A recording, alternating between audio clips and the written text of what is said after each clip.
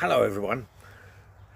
I'm I'm John Row and I'm talking to you from the World Poetry Cafe. And uh, I can do a lot of poems. I do in schools and I do on festival fields and I can do one first about what I do, which is words. Words. Words are everywhere, aren't they? Words are wonderful things. Words are magic. If I say stand up, you'll all probably stand, stand up. There you are, you all stood up. If I say sit down, sit down. I'm not even in the same room as you. Words can make it all sorts of things. So this poem's called Words. Words for the story, words for the play, words for the night and words for the day, words for the letter and words from rhyme, words rolling round the tongue time after time. Words from the ocean, words from the sea, words from the lakeside, words from the free, words from the centre and words from the edge, words from the traveller and words from the hedge, words from the wagon and words from the tent, words from the rich man when his money's all spent. Words in the papers, words in the book, Words in the kitchen everywhere you look, words in the leaflet, words in the post, words through the stick of rock they sell on the coast, words on the notice, words on the wall, words on the tongues of the teachers at school, words on the bottle, words on the jar, words on the bus and words on the car, words on the lorry and words on the train, words on the bicycle, words on the plane, words on the fishing boat, words on the ship, words on the t-shirt, words on the strip, words on the pitch and words on the crease, words on the war and words on the peace, words on the subject, words on the news, words on the crime and words on the clues. Words that send a shiver, words that send a shout, words that send a message that everybody's out, words that send some happiness, words that send some hope, Words that send the very thing you need for you to cope. Words that make you angry. Words that make you mad. Words that make you good and words that make you bad. Words that make you hot and words that make you cool. Words that make your best friend act like a fool. Words you need to sign. Words you need to write. Words you need to speak that need to be polite, words you need to process, words you need to read, words you need to check, and words you need to lead, words you need to follow or walk side by side, words you need to run, and words you need to ride, words in the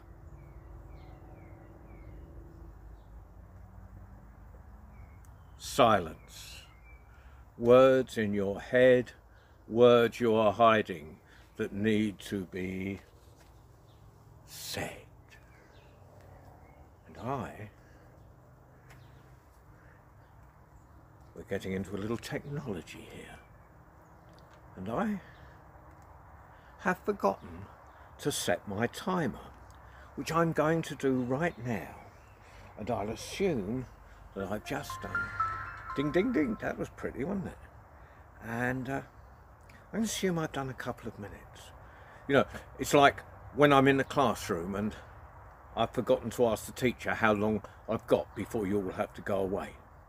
And so here we are. Here we are. Now I'm going to, I'm going to time and I'm going to start. Perfect. Fantastic. Well, actually talking of classrooms, I've, I'm going right to I'm going to think about being with reception. And you know, if you ask, and every teacher will know this, and you'll remember from when you're in, were in reception, if a teacher says, ask a question, probably as a reply they'll get, did you know? Did you know? So I've just pretended I'm in reception again. Did you know? You can all shout this out when I go. When I point, you can shout, Did you know? One, two, three. Did you know my best friend has been all the way to Mars? Did you know my my sister broke my mum's favourite vase? Did you know my cousin is over four metres tall? Did you know my puppy dog juggles with a ball? Did you know my that last night I had ice cream for my tea? Did you know my kitten likes to play with me? Did you know last Saturday we all went to the zoo. Did you know that everything I say is absolutely true? Of course, when you come to school, there's a whole new language to learn. You know, before before you go to school, you know the important things like I'm hungry and I want. When you get there, you have to hear projects, topics, all sorts of words you didn't know before. This is called school projects. Imagining you've just heard the word. Miss, what's the project? Can you hang it on the wall? Can you take it home and eat it? Miss, can we do it in assembly? Miss, my sister did a project once and she had to bring lots of empty washing up liquid bottles and yoghurt cartons. Miss, what shall we bring? Can I bring my pet hamster? Miss, my auntie drives a big lorry. Can I do my project on that? Miss, Lorraine says, her mum says, her doctor says she's not allowed to do projects. Miss, is it true projects give you spots?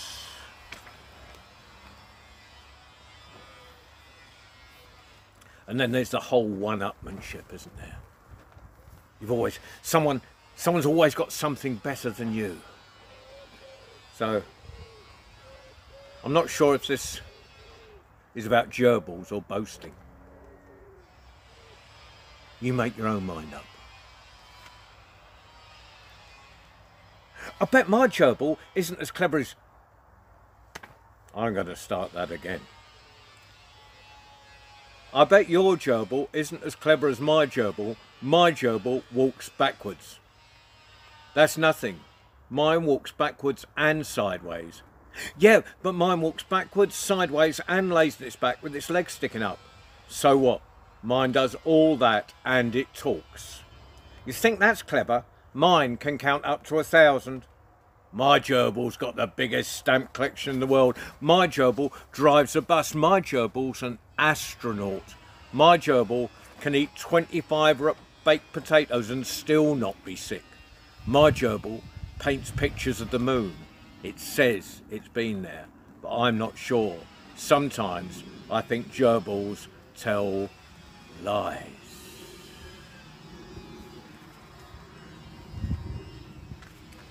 While we're on animals, I was uh,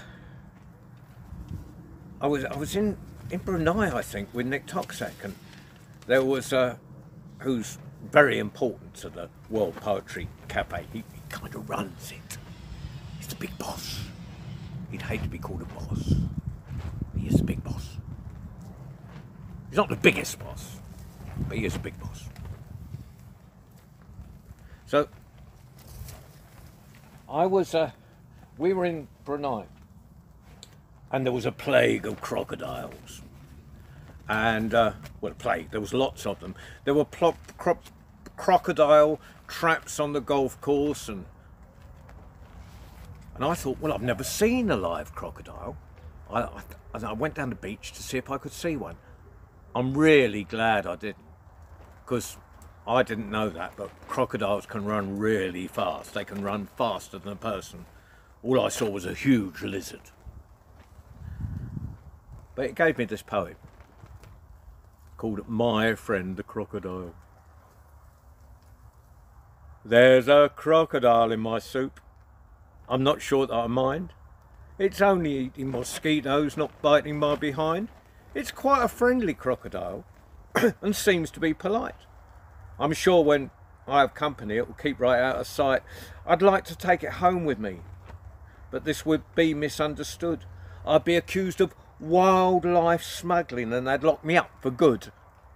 My crocodile might defend me and tell the court its own version of two of a story of two friends abroad involving no coercion. On reflection, when I've supped my soup, I'll set my crocodile free. I'll friend it first on Facebook, then watch it waddle to the sea. I think I'll do another animal poem. I was uh, I was going into school once and they uh, they said, uh, could I do something on Africa? I thought, well, I really don't know a lot about Africa. You know, you should ask someone from Africa if you want to know about Africa, not an Essex boy. So I thought, well, what do people know about Africa? Everyone knows about the animals, but they get the animals wrong sometimes. So I'm calling this, Do They Come From Africa? And you can shout out the last word with me. So when I point again, you all shout, Africa! One, two, three. Stripy tigers, they don't come from Africa. Stripy zebras live in herds in Africa. Long neck camels walk across the north and horn of Africa. Long necked giraffes roam in the grasslands, savannas, and open woodlands of Africa. Long nosed anteaters cannot be found in Africa. Long nosed elephants wave their trunks in Africa. Two horn rhinos live way down south in Africa. One-horned rhinos live in India, not in Africa. Big mouthed crocodiles swim in rivers all over Africa. Big mouthed alligators are not seen in Africa. Spotty leopards go hunting in sub-Saharan Africa. Spotty roe deer fawns would not do well in Africa. Prickly hedgehogs are very small in Africa. Prickly porcupines weigh over 25 kilograms in Africa. Roaring gorillas live in forests to the east and west of Africa. Roaring lions live in prides in Africa.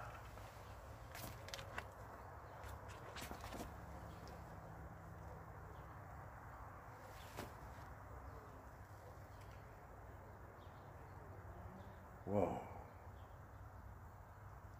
I haven't the faintest idea how long I've been going. Well, okay. sometimes when you're writing, something happens and it gives you a poem. Now, a few years ago, I was in hospital. Can I have an R? Ah. And I had pneumonia. And I got put in the general ward. And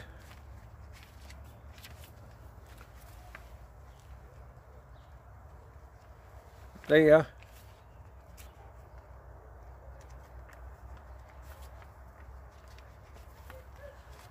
And there was someone in there who thought there was a spaceship on the roof. Now, I, I, I, I was in the middle of a tour around schools, three weeks of travelling around schools. So I rang my agent and I said, uh, I said, I'm in hospital, but don't get a rep of Deptford to get someone else ready to go into a school tomorrow. But uh, actually, I'll um, don't send them until and because the doctors might let me out. Well they didn't let me out that day they let me out the next but i did tell her about the man who thought there was a spaceship on the roof of the hospital. She said when are you going to write about it? I said well i can't actually write a funny poem about hospitals. You know you mustn't make fun of people in hospital but you can about schools so I put the spaceship on the roof of a school. Miss, there's a spaceship on the roof. Don't be silly, Alex. Sit down. But, miss, there is a spaceship on the roof. I told you not to be so stupid. Sit down right now. The whole class was rising and running towards the window with oohs and ahs and we don't believe it. Miss remained steadfast in the corner, arms folded. All of you, sit down this very second. Just then, there was a knock on the ceiling and a hole appeared, not with a cracking of plaster, but more like melting plastic, except there were no drips to burn the skin, and through it came the strangest being you have ever seen. Green, obviously, with a large round head, and spindly arms and legs. Wow, a real live alien. It walked up to Alex, the smallest boy in the class, and spoke in the politest of voices. Uh, good morning. You're obviously in charge here. My family are moving into the area and I wondered if I could enrol my children in this school. You all gave me such an enthusiastic welcome. But tell me, are there many disruptive children here, like the one in the corner? Oh no, she's just feeling left out. She's twice our size and doesn't join in much. There's one or two in every class, but we try not to let them spoil our fun. Thank you so very much. We shall be seeing you soon. The alien left, the way it had come in, the hole closed, and life was never quite the same again.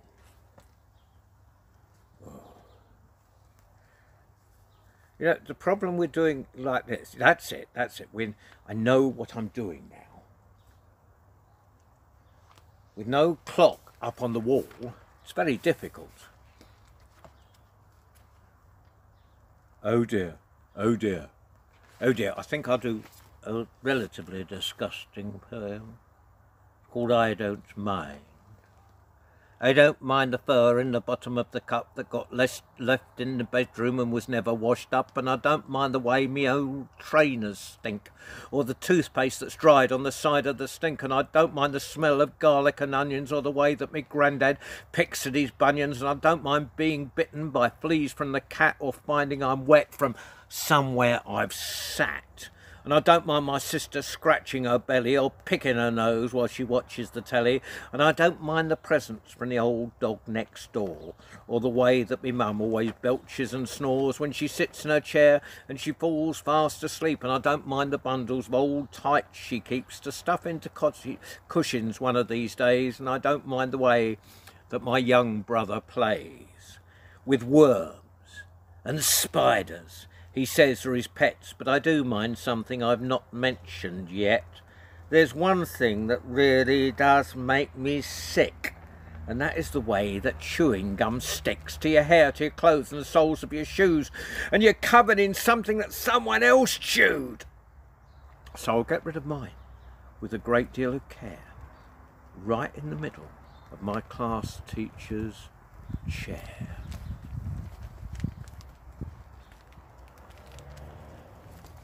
Okay, who's always late with their homework? Who comes up with pathetic excuses? Me. And does your teacher ever believe you when you tell the truth about why you're late? No, they don't. So this is called The Dog Ate My Homework. The dog ate my homework. My granny shrunk my PE kit. My brother stole my timetable and my teacher doesn't believe a word of it. He says I'm lazy, I'm driving crazy, threatens me with punishments I can't even understand, sends me to the office with a report card in my hand, talks about detention and then about exclusion, tells me I must be suffering from some kind of delusion. Maybe I should avoid the truth. Let my imagination play. See how good I am at lying. I'll practice every day. I'll log every flying saucer that navigates my mind. I'll go into every search engine to see what I can find. I'll develop such a knowledge of everything obscure that either, either have to reward me or send me for a cure. But the dog has still eaten my homework, and my granny has still shrunk my PE kit, and my brother has still stolen my timetable and my teacher still doesn't believe a word of it.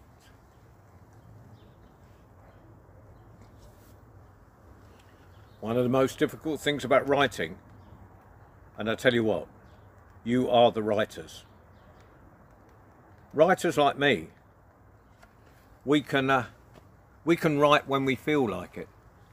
But most of you even when you're at home during the term because of all this stuff that's going on now and you're having to do stuff on the internet you have to write every day so you are the real writers. And what is the worst thing? Staring at the dreaded blank page. You look at it And you're thinking, what can I write on that? And sometimes it's just a matter of getting the first word down. Or sometimes you just get an idea that you didn't expect to come. For instance, I had to write a poem once that both children and adults could join in on because I always get people shouting. Now, it's one thing getting children to join in, but adults are a totally different matter. They're very strange. If you're somewhere and people and there's someone at the front asks for volunteers, they're pushing you forward, say, go forward, put your hand up, put your hand up. When it's their turn, they sit like statues. So I had to make it very simple. And I was sitting there, I had the dreaded blank blank page in front of me. I had the pen in my hand. It was hovering above the page. And I'd done everything. I'd, uh, I'd, procrastinated, which is actually a word for not getting on with it. I, would fed the goldfish, I'd, I'd made a cup of tea, I, I did all those things. And then I sat and I concentrated. I could feel a poem coming in on runway number 10. And just then, the door burst open and my daughter went, Hey, Dad! I could have picked her up and made a daughter-sized wall in a hole in the wall. But it looked really bad in the papers the next day. Poet makes daughter too by dimensional. So I wrote this poem instead. It's called Hey Mum. And you can shout out. When I point to the ceiling, you shout, Hey Mum. And when I point to the floor, you shout, Hey Dad. And you're going to start. One, two, three. Didn't hear you. Try that again. One, two, three. Bit better, not quite loud enough. Let's go one more time. One, two, three. Hey, Mum, it's a brand new day. Hey, Mum, can I go out and play? Hey, Mum, have you seen my ball, my skipping rope, my pleasure machines? I'll find it in a minute or I'll do it when I've done. Who are you going to play with? And make sure you're back by one. Your dinner will be ready or we're going out for tea. That's the last clean shirt you're wearing, so make sure you keep it clean or it's... Hey, Dad, can I have 50p? Hey, Dad. You promised me. Hey, Dad, will you take me down to get some new training shoes? There's smashing ones in town. It's I've only got a pound coin, or I'll do it when there's time. I talk it over with your mum, and if she says it's fine, we'll go and get them next weekend. It's only one more week, or I think that you've already got enough shoes for your feet. Then it's, hey, mum, it's not fair. Hey, mum, it's cruel. Hey, mum, they're all wearing new training shoes at school, and hey, dad, I told mum. Hey Dad, you said, hey Dad. You know you've lost, so stop moaning and go and get the car, will you? Whoa. Boom. Whoa. About five or six minutes left. So I've got time to do a couple more family ones. This is about your parents buying you clothes and you not being with them. My boy was 40 years old yesterday, but he was quite, he was about 12, 13, or 12 or 13 when I wrote this, and he still hates this poem. I know exactly what happened. He'd been asking for a sweatshirt at a charity thing, and we bought him one and it was the wrong colour. It's always like that, isn't it? You know, we parents think you're going to be really pleased with what we buy you. And you look at it, we've got that big parent smile on our faces. You're going to be so pleased with us. And you pick it up and you go, Ugh! I didn't want a red one. I wanted a blue and I wanted I wanted a white one now. Okay, now I'm going to start that again. I didn't want a red one. I didn't want a blue. I wanted a white one, and I hate you now. Look here, half pint. Can't we ever get it right? Can't you really say, thank you very much, mum, and try to be polite? Because whatever we buy you, it never seems to please. It's either the wrong colour or it's baggy at the knees. It's not the, got, got the right label or it's entirely the wrong brand. Well, I'll tell you this for nothing. It's more than we can stand. But, but, but, but, but no one ever asked me what it is I want to wear, and it is my body after all, and well, it isn't fair. I've had enough. I'll hear no more. put this argument on hold because until you're bringing pound coins in, you'll do as you're told. Don't you pull that face at me when you know you really should be saying that you're sorry and crying will do no good. But Dad, you never listen. And all you do is shout. And why do you always get at me and when, oh, you're going out? Whoa. Well, I'm going to go one more, I think. It's about football. I think I'm going to, I'm going to actually finish on two little ones. One about brothers. Who's got a brother? Who's got a little brother, even worse? Yeah. And, you know, when babies are first born, they, they crawl around, they put everything in their mouths. Well, this is about one little brother who did just that. My little brother, right little Herbert, nearly choked himself on sherbet. My little brother ever so sweet, but you should see the things he eats. Lumps of coal, bits of soap, plastic bricks and ends of rope, dirt and grass and sticks and stones, even tried an old dog's bone. My little brother will eat anything at all, but will he eat Brussels sprouts when he gets to school? Now, everyone does football poems, and I thought I ought to do a football poem, but I'm really no good at football. In fact, I'm one of those people who's not good at sport at all. In fact, when people were choosing sides, I would be the last person they chose.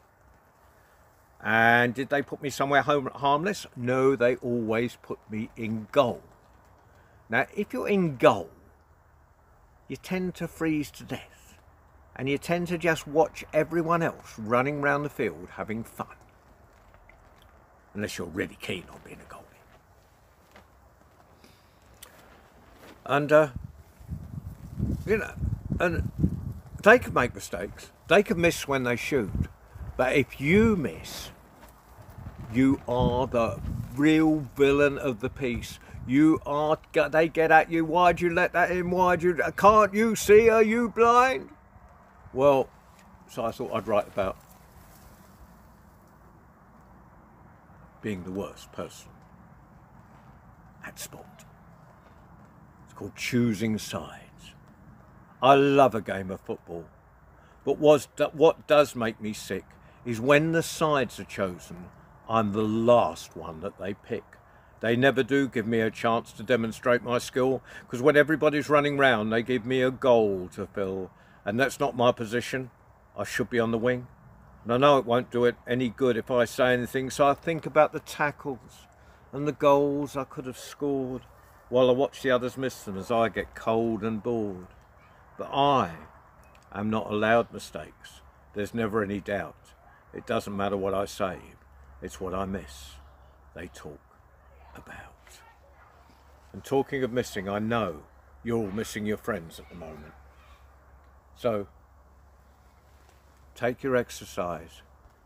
Talk to them on Facebook, talk to them on your tablets, on WhatsApp and everything else. But just be patient. All this will be over one day. In the meantime, I hope to see you sometime in your own schools. This is John Row. I'm saying goodbye. See you later.